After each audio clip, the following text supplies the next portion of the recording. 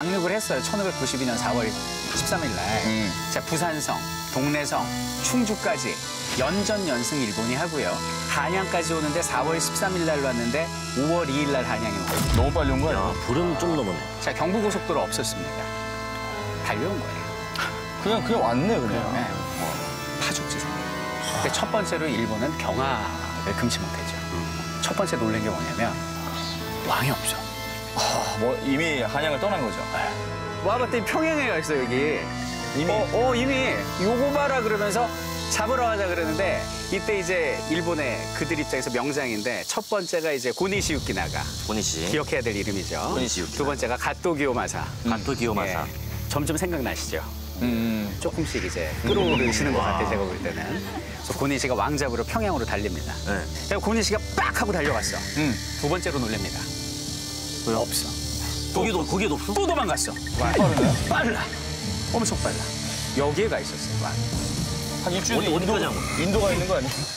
아니 발이 제시네. 우리 뉴델리에서 발견되고. 뉴델리.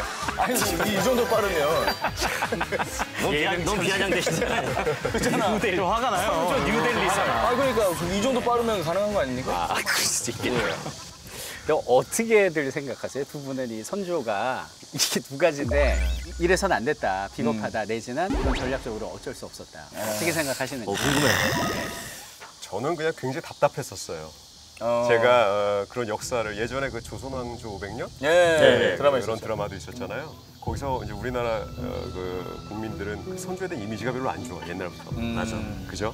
약간 비겁하다. 어, 나라를 버리고 도망간 임금 중에 대표. 그리고 되게 우유부단한 그런 임금으로 기억되져 있는데 제가 그 드라마를 통해서 이제 롤을 하면서도 역시나 너무너무 답답하고 그러니까 저는 이렇게 역사적인 배경보다는 그 장군의 심리적인 그런 감정 상태 그쪽에다가 많이 좀 초점을 맞춰서 연기를 했어요. 아무래도 이제 연기를 하다 보니까 그런 상황에서 이제 항상 양날의 검에 어, 그 중간에 있는 그 고뇌하는 그런 것들이 항상 거의 한 1년 반 동안 몸에 배 있다 보니까 거의 이제 세뇌가 된 거예요. 선조 너무 나쁜 사람. 어, 그 선조만 생각하면 너무 답답하고 어, 아, 그랬었던 것 같아요. 이게 참 애매한 게요, 진짜 음. 양날의 검인 게. 이 비겁하잖아요, 네. 백성들 음. 버리고. 근데 막상 또 잡히면 이순신 장군도 아무것도 할 수 없는 상황이에요.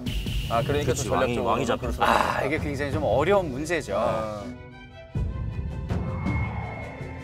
근데 이제 문제는 군인씨가 이제 왕이 빠르잖아요. 그럼 어떻게 해야 돼? 평양에서 잡으러 의주로 가야 되는데 어. 여기서 군인씨가 발이 묶입니다. 왜요? 왜 묶일까요? 그 비밀의 문이 이제 우리 앞에 열리게 됩니다.